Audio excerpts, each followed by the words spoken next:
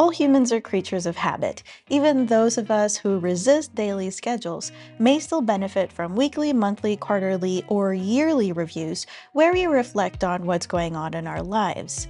Reviews like these that are regularly done are essential to building actually usable systems that change as we change. Hi, I'm Nicole van der Hoeven, and on this channel, I like to talk about the different things I use to min-max my life, including tools like Obsidian. In this video, I'm going to talk about the Periodic Notes plugin. Periodic Notes is a free and open source Obsidian community plugin that lets you choose notes that can recur at a certain frequency. The choices for that frequency are daily, weekly, monthly, quarterly, or yearly. You can choose one or a combination of those. You don't have to choose them all. But for each one of those, you can also specify a template of the kinds of things that you might want to review on those frequencies. Maybe on a daily basis, the things that you want to review are more granular, like very specific tasks, but maybe on a monthly basis, you'd prefer to review like projects or something like that. Let's go and see how to install it. Just like with any community plugin, you can go here to community plugins and click browse as long as you've turned off the safe mode, and then you can type periodic notes. Now I've already installed it here, but you will see an option to install it and then you have to enable it. Then afterwards, you'll see this options button as well. When you click on that, you'll see a bunch of different options. Now, one thing I want to call out is that if you're already using the Daily Notes plugin, that will be automatically migrated to Periodic Notes. And at that point, you can just disable daily notes and use periodic notes from then on because periodic notes is daily notes plus more. So here you can turn on any of these that you want. Here they are separated by the different frequencies um, all the way up to yearly. And for each of these, you have three different options. The format, which I pretty much would just leave like this unless you're using like a non-traditional or custom format for your daily notes. And then you have the templates and the note folder.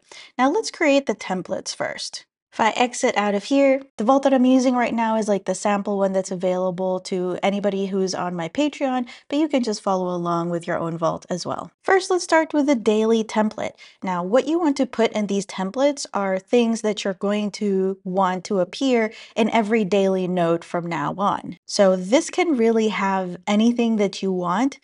As you can see, I'm using a different plugin here called Templater. If you don't have Templater, you could just do something like title if you'd like. Uh, I have a link here to yesterday's note. One thing I like doing in my daily note is I like to pull in the tasks for the week. So this isn't filled in yet, but when I create my weekly goals or weekly tasks or whatever, all of those will be embedded into my daily note, just so every day I get reminded of what are the things that I said I wanted to accomplish this week. And another cool thing is I have a dice roller here where it go just goes through everything that has the tag inbox.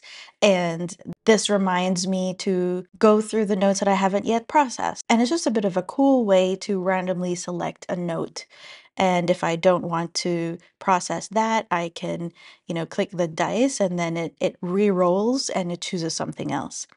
And then I have a daily review, things that I'm proud of, grateful for, or things that are on my mind that I need to get off of my mind before I, I close up for the day. Then there's an end of the day checklist. Now, you don't have to put the, all of this in your daily template. This is just what I have in my template.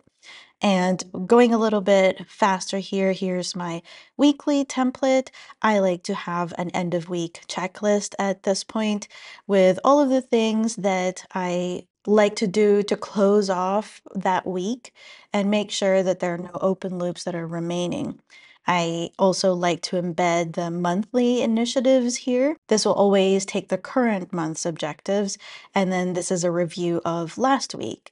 And then um, this is where I say, what are the things that I want to get done in the week to come? As you might imagine, as we go from daily to yearly templates, the difference is in the granularity. So on a daily level, I'm talking about specific tasks. And by the time we get to the yearly templates, I'm then talking about like overarching principles or objectives for the entire year. So this is the monthly one, again, reviewing the, what happened in the last month and what I want to get done in the next month. Here's my quarterly one.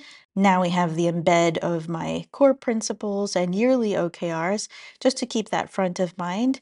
And here are the yearly ones. OKR stand for objectives, key results.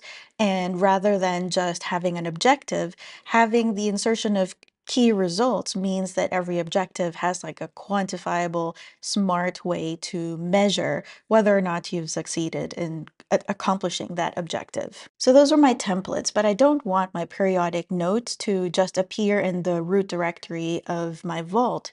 So I have a separate folder here called reviews where I have folders for each of those to go into. Now let's go back to the settings here. And I've already gone and filled it out, but you should then select the templates that you have here. For me, all of my templates are in the templates folder. So then you type the folder first and then you select which one it is. And then also put which folder you want those periodic notes to be in. So you can go through and change any of these, you'll see that for some of them, I put weekly review in front. I mean, it's really down to personal preference. And once you've decided on which one of these you want to enable, then we can actually go and use periodic notes. From Obsidian here, you can hit the command pane, that's command P or control P if you're on Windows, start typing periodic notes, and you'll see that for every section that you enabled, you'll have an option to open that note. Whichever one we select here will have the corresponding template automatically applied to it. So let's go with the weekly note, for example. And instead of that template here, it's filled in exactly what I want. This is the 27th week of this year. And then I can start checking off these things on the checklist I can review the monthly initiatives, but I skipped the monthly one just for the demonstration. Then I can go to this week and let's say I want to finish video on periodic notes. And then on a daily basis, you can also hit Command P and hit daily open daily notes and that also gets changed to today's exact date. And this is what I was saying before that it automatically embeds whatever the goals were for this week. So this week I can see I have finished video on periodic notes, so I can't tick that off just yet. One of the things I like about this is that it's pretty much automated and it gets created for me. I basically had to think of what I wanted in the template, and then after that, they just get applied automatically. And I also like how the objectives are traced from the daily level all the way up to the yearly level. I'm a person that likes to try very different things, and sometimes I go off in a different direction from the one that I set for myself.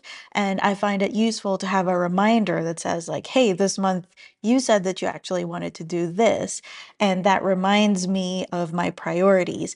And sometimes I change those priorities, but at least then it's an intentional decision and not just me going off on a tangent. What I showed you is what's available in the public release of periodic notes, but I've actually been playing around with some pretty cool beta features. Let me show you that as well. The first thing is that when I open up a note, one of the periodic notes, there's this timeline here that I can click on and it shows me the rest of the week. So it's just a way to quickly flip back and forth between different days. The thing that I'm most excited about in this beta release is the addition of calendar sets. So right now there's only one set. There's like, uh, you know, daily, weekly, monthly, etc. for everything. So that doesn't work so well if you have a more compartmentalized approach to your life. Like you have some objectives that are personal, maybe some for work or some for another business or some that are financial even. Now you can have different sets for those notes. So right now I have the default one, which I'm kind of using as like my personal one.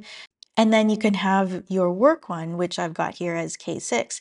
Now, in my case, I only wanted quarterly notes for work because all of our OKRs are based on a quarter. And so I don't really need to have a separate one for daily and weekly because I do have very work specific OKRs that are based on three month periods. And then for the daily, weekly, monthly ones, I just kind of lump them into my personal one. But the quarterly notes, those are nice to keep separate.